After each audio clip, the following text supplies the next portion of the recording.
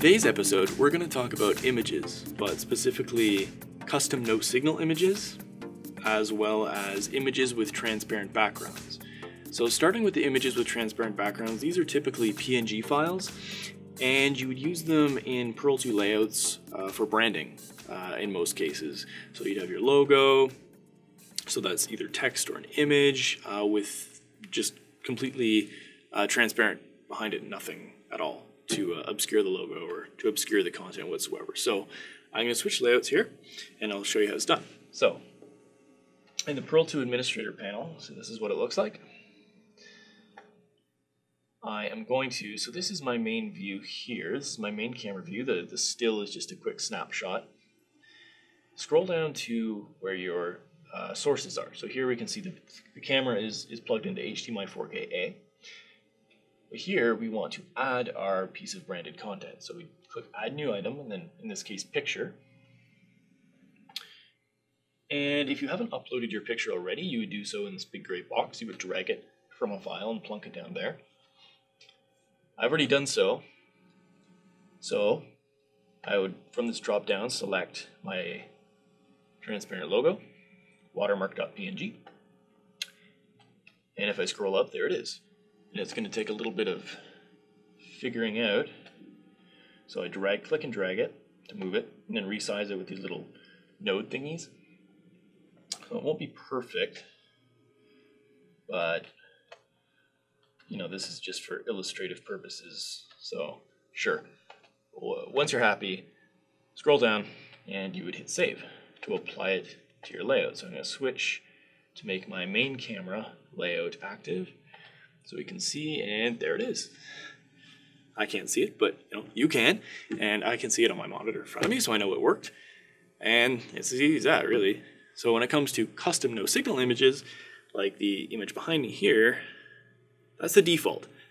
So if you want to change the default, there's a few different reasons why you might. Again, you might want to brand it. You might want to add custom text to say, I don't know, technical difficulties, please stand by, or we'll be with you soon, whatever you want to say. So if you want to change this from the default, here's how you would do it. So switching views again to my administrator panel, what I would do is I would first need to upload the image. So I would need to create this custom no signal image ahead of time. And then under configuration, click on branding content. And then we can see a list of other files. So these are all the uh, images that I've uploaded so far on Pearl 2. So I would click choose file to upload. So here's what I want. I select what I want, open, upload. And I think I've uploaded this already actually, but here it is right here. There's two of them, the ones that I wanted. So they're in the list. If you ever need to delete uh, these these these images for whatever reason, this is where you'd come to branding content and hit remove. Now, just a note, a quick note. Uh, there's no uh, image file size limit.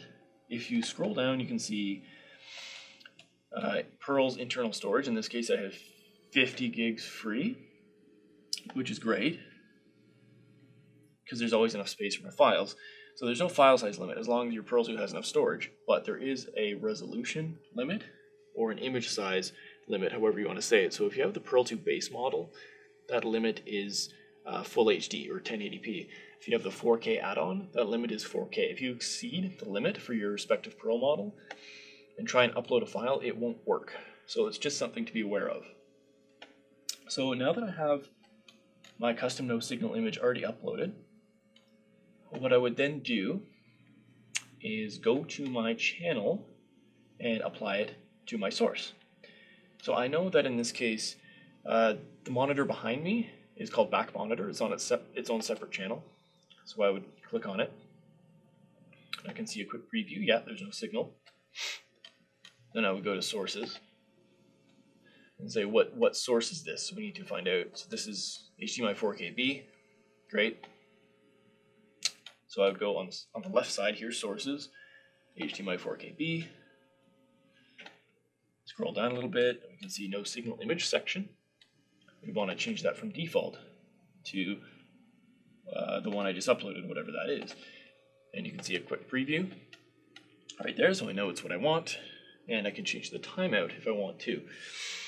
And you might want to change the timeout, you know, to, to be more than instant, so that if you unplug and replug really quickly, it doesn't show the no signal image, it gives it some time, a little bit of a buffer. So when you're happy, click apply. And I'm going to switch back to my main camera and see if that worked. So we can see, and my head is in the way, I'll move my head, and it worked. All right, perfect. So it's really as easy as that. So that's uh, custom no signal images, as well as uh, images with transparent backgrounds, what they are, how to use them, and how to apply them practically with Pearl. So hopefully you liked the video. If you have any questions or comments, please leave them down below.